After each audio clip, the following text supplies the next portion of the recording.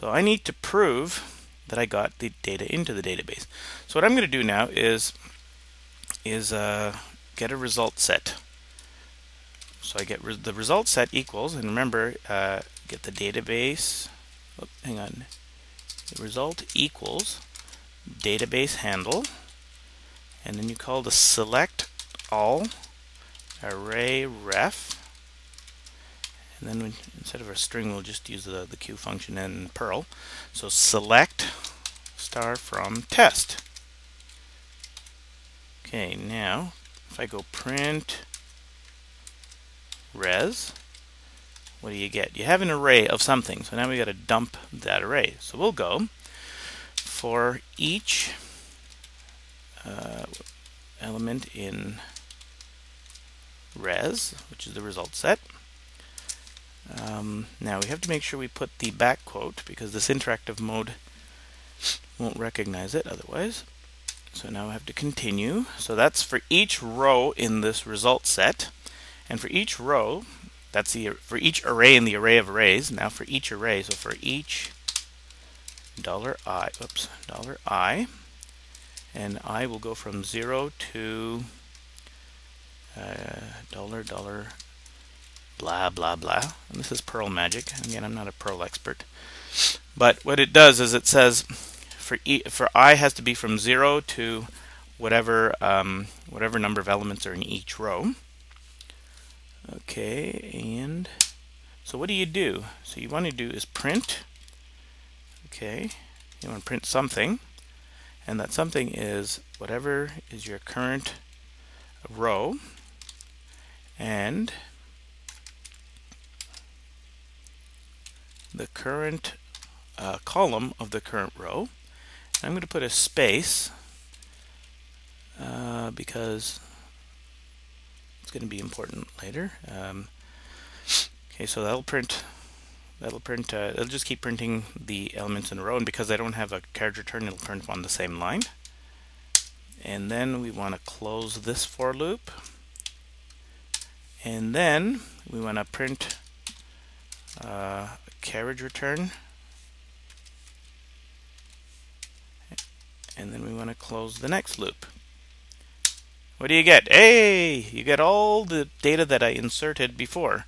You get the first three, which were hard-coded. You get the next one, which was hard-coded bound parameters. And the last one, which was hard-coded um, unbound parameters.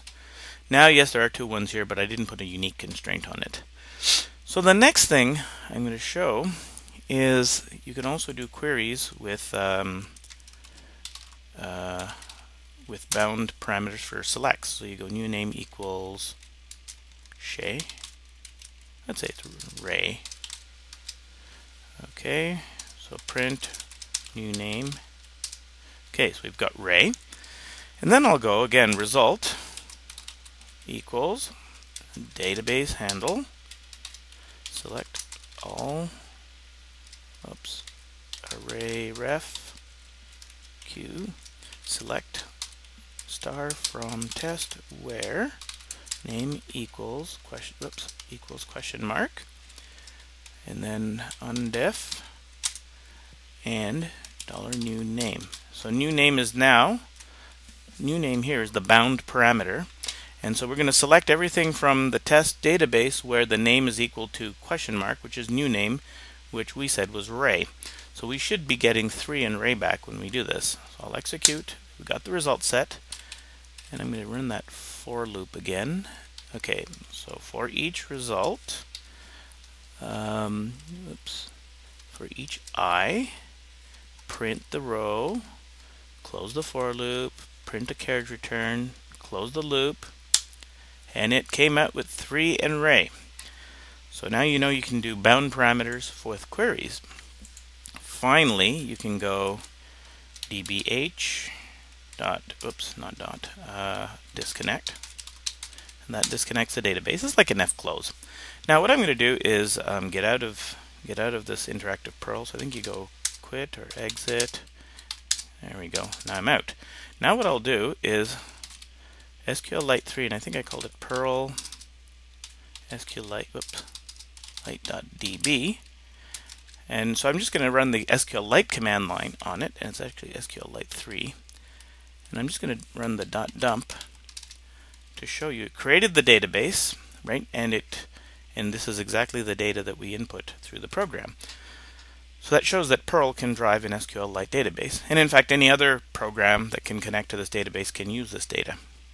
And that concludes the video for using uh, SQLite with Perl. I hope you find it useful. And uh, if you found it useful, please take the time to rate it on YouTube so that uh, it's easier to find for other people.